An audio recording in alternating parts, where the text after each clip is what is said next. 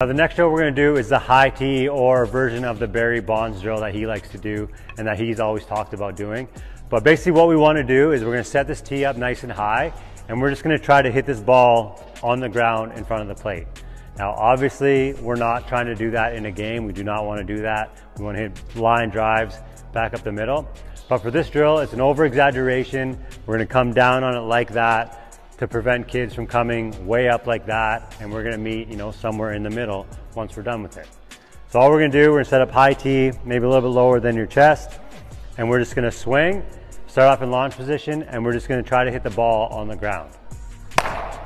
Now again, obviously we don't wanna swing straight down and hit the ball down. It's just an over exaggeration and a feel drill to get you away from coming down and up like that.